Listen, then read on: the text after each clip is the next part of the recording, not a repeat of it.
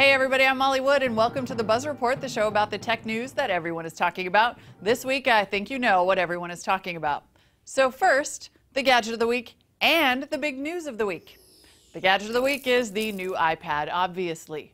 And actually, it appears that the new iPad is the only name it's going to get, which should really embarrass all of us who actually speculated about what the product would be named.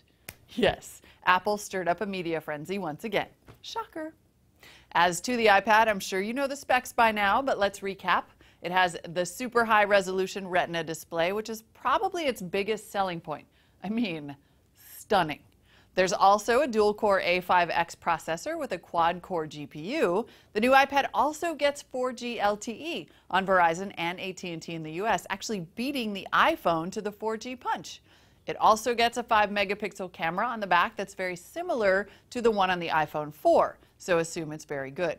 1080p HD video recording, although the weight goes back up to 1.4 pounds, so don't be thinking you're going to record like a whole parade or something. It gets heavy.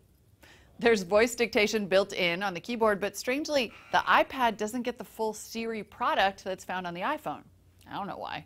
And Apple says battery life will still be 10 hours and 9 hours on 4G, which is insane. More insane? The fact that the 16 gig model will still cost 499 bucks, just like the old 16 gig model. Pricing is the same across the board. How? I cannot wait to see the teardown on that sucker.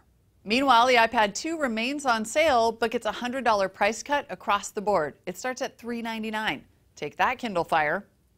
Apple also introduced a new version of iPhoto for the iPad that looks very cool, and we know because we saw every single feature of it in the world's longest demo. But I admit, it does look amazing.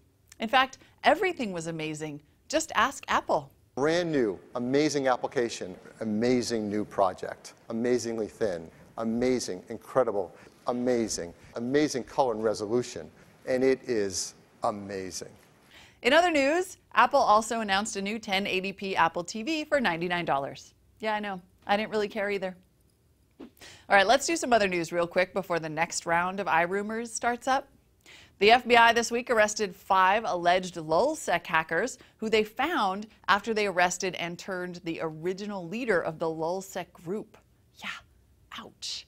Apparently, the hacker known as Sabu was arrested last summer and had been acting as an FBI informant for months, mainly because the feds had threatened to take away his two young sons if he didn't help them. Nothing lulls about that. But have you guys been watching Mob Wives on VH1? Because I have, and that would not happen in the mob.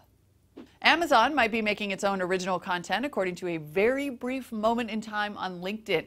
Amazon exec Joe Lewis briefly listed his title as Vice President of Original Television at Amazon.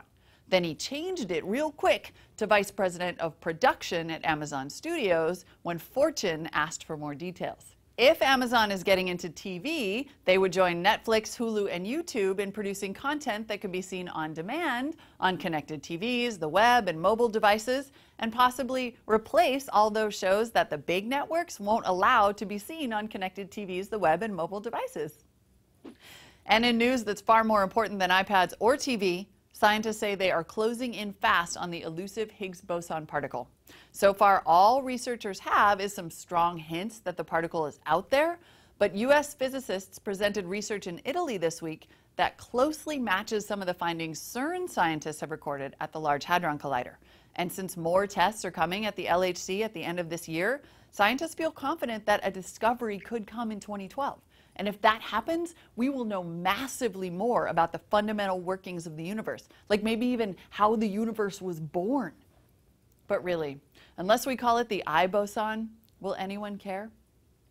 And that's the Buzz Report for this week, everyone. I'm Molly Wood, and thank you for watching.